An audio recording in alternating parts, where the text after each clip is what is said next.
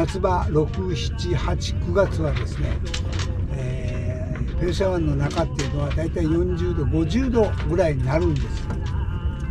で、えー、夏季手当てっていうその暑さの手当てが出てました。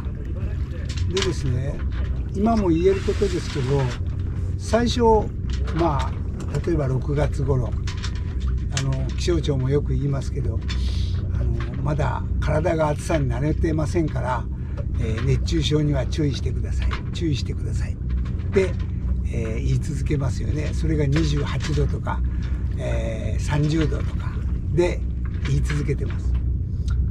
で、え今みたいに8月9月になってくるともう日々35度36度です。ですね。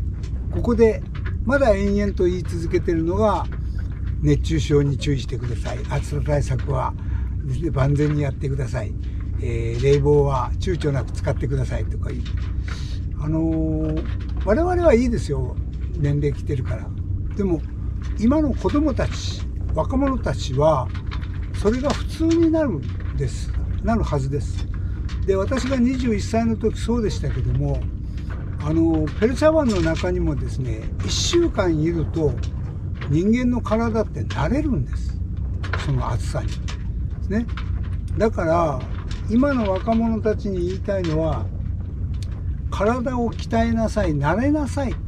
つまり8月9月になったらいやもうだいぶ体は慣れてきたと思いますんでですね、えー、その35度ぐらいで前の30度ぐらいのえー、感覚だと思います。ですね。だから人によってはまあ体力に差があるので注意してほしいですけど、えー、だいぶ慣れてきて、え、よくはなったでしょう。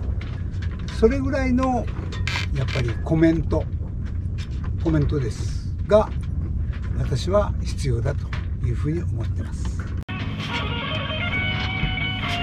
よしトック。オートパイロットも何も使いません。手動でいきます。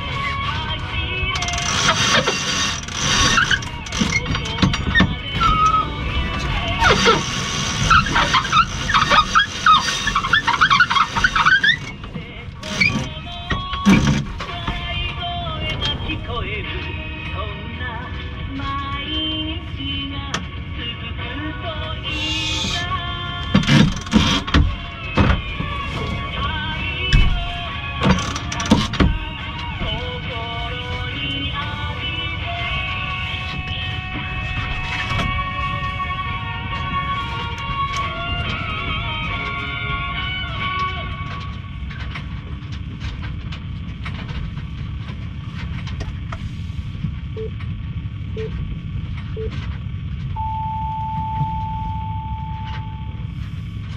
時の NHK ニュースです。